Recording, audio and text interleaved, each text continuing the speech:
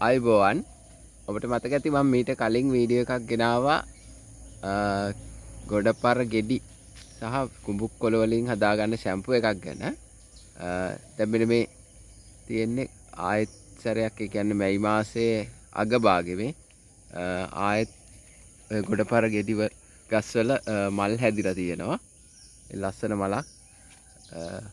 එකම පෙන්න්න ඕන හිද මේ විඩියෝ ගෙනාව. අනිත් එක මේ මේ ගොඩ පර මල් ව්‍යංජනයක් විදියට සකස් කරලා ආහාරයට ගන්න පුළුවන්. අනිත් එක අතීතය හිට මිනිස්සු ඔය එකලො නාන්න පාවිච්චි කරේ ඇල දොල ගංගා ආශ්‍රිතව. ඒ වගේ තැන්වල මේ ගොඩපර ගස් තිබුණා. ඒවයි කෙටි අරගෙන ගොල්ලො ශැම්පු වෙනුවට ආලේප කරා. ඉතින් මේ ගොඩපර ගෙඩි හැදෙන කාලෙට වටත් පුළුවන්කමත් තියෙනවනම් මේ ගෙඩි කීපයක් හොයාගෙන ශැම්පු වෙනුවට ආලේප කරන්න පුළුවන්.